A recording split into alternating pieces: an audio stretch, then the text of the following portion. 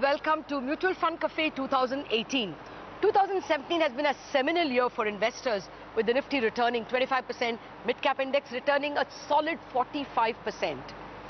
Today, Anuj and I are here speaking to four of the star fund managers in India, S. Naren, Navneet Munot, uh, Manish Gunwani and Nilesh Shah.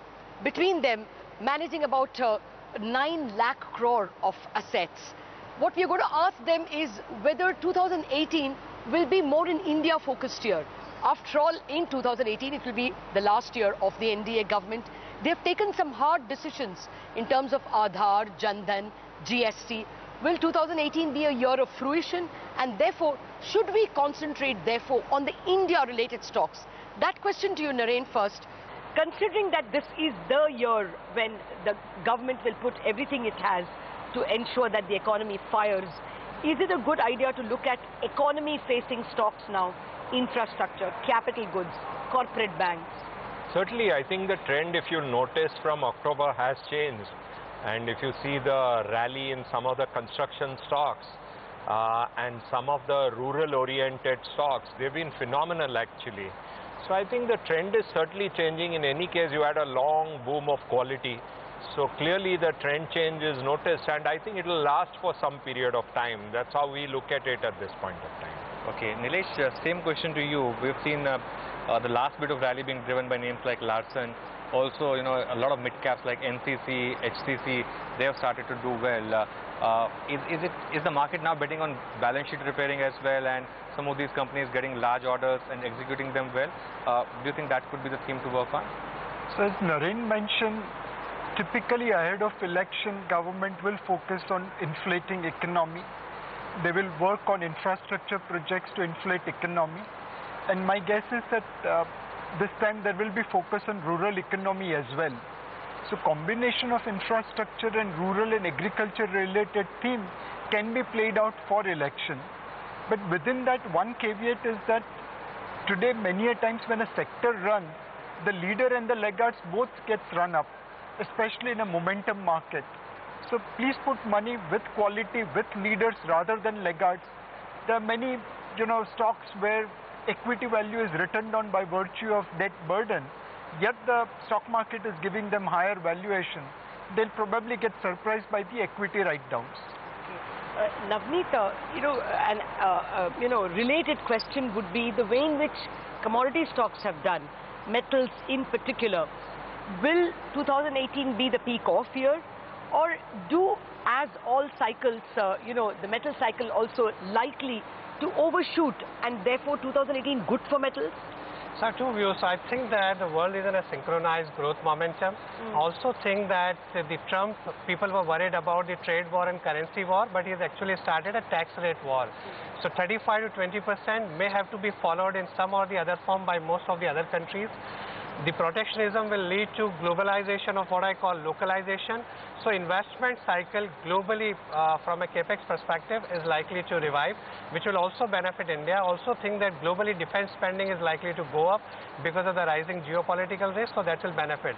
So I think some of those sectors from the Indian perspective also can benefit. So whether it's the construction, capital goods, engineering, all of them are going to be beneficiary of that. Okay. From the metals perspective, whether this will also drive the metal prices the way they did in last cycle, I think we may not see the similar kind of momentum in the metal prices.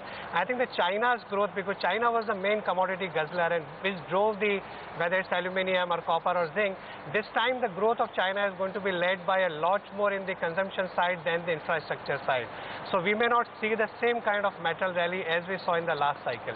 Okay, that's interesting. And you know, Manish, I just want to extend that point. Uh, how big is China going to be as a factor for our market? You know, we've seen this year, for example, a lot of sectors have done well because there have been issues with China. You know, chemicals has been one example. Select commodities have been another example. Uh, uh, your thoughts on uh, what, what's happening in China and if that will have any bearing on India? I think it's going to be very important because, as you mentioned, uh, we could be in the nascent phase of a multi-year trend in terms of shift of manufacturing from China to India. So while we've seen a lot of stocks do well, but if you see a lot of these stocks on a market cap basis, they are very, very small. Yeah. In fact, if you look at Nifty or BSE 100, you struggle to find manufacturing companies in the top 100, 150 companies.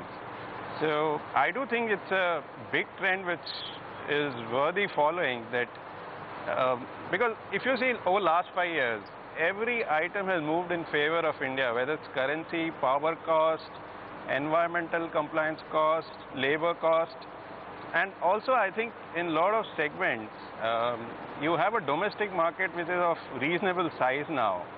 So what is happening we are seeing is in a lot of segments you have a domestic manufacturer who's reached a size which is globally competitive and then suddenly China withdraws from that market. I think there's a huge roadmap for these guys to grow from there. So, so I think that's a very in interesting trend to follow. But, you know, speaking of commodities uh, and the fact that, uh, you know, already the uh, Monetary Policy Committee's minutes sounded quite hawkish. Uh, uh, Nilesh, what would you advise in terms of the uh, allocation of funds between debt and equity? Do you think now debt uh, will get pricier and therefore some money put there? So on the debt side, we believe today there is a sweet spot for mutual fund industry in terms of lending to those sectors where banks are not there. Loan against shares, land acquisition, acquisition financing. Now these are the opportunities which we are capturing in credit opportunity fund. They have, you know, short-term investment horizon. Uh, they have short durations to medium durations. They are not really long like a bond fund or a gilt fund. Second, the carry on coupon is pretty good. So in the fixed income space, I'll recommend people to allocate towards credit opportunity funds.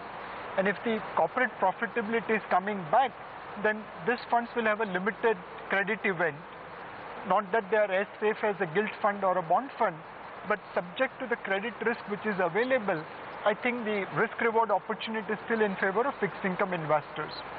I just want to add one more point on China. Our trade deficit with China is $51 billion. If we include some hawala payments, probably it's 55 or 60 billion dollars. That's almost equivalent to the cost of China's investment in China-Pakistan economic corridor. Now, if I simplify things, Pakistan is, you know, kind of acting as a vessel of China by virtue of that $60 billion investment. And we Indians are financing that. Instead of giving it to China, if we give to Pakistan, then probably we'll have peace in our neighborhood. That's the kind of deficit which we are running with China. And we need to develop and deepen our manufacturing sector so that we can reduce that deficit. Otherwise, that number is fairly large. The electronic imports from China will probably cross oil imports. That's too much of a you know, value to be given to Chinese. You know, you're making a very, very good. You know, I I recently saw the debate on Pakistan television as well, where I think Nisar Hussain, or I, I'm forgetting the name. I think he made a similar point that you know, from Pakistan's point of view as well, it's better to get into you know maybe some more trades with India. So I, I, I take your point. Uh, but uh, let's get back to equities. Uh, Naren, you know, last year uh, you sort of uh, stuck your neck out and said that uh, this year is going to be about telecom and you had a big bet on telecom. And that's played out phenomenally. Bharti has doubled from that price. are you still sticking with that call now on telecom? Yeah, our view on telecom is it's um, if you have a long-term view, it's too important product segment because we are much more dependent on telecom than we were three years back or five years back or 10 years back. So if you look at the near term, clearly uh, some of the pessimism is completely gone and now it is clear who the successful people are and who are going to stay. So I think part of that has got factored. When I, when I take three to five year view, I do see a lot of scope because end of the day, it's the most important product that any person has at this point of time. Mm. Yeah, as I keep telling people, most of the time I don't know whether I have the purse in my pocket, but I know that I have my mobile phone with me. Yeah, and, and, that's the point you had also made at the Sohn conference, right, uh, Navneet? So you, you also share that view, right? Okay, but uh, you know, we have to take a break at this juncture. But really, yeah. that is where we are going to start the uh, next segment. One idea as to the best sector that you think will be the sunrise sector in 2018. That question to our staff fund managers in a minute after this break.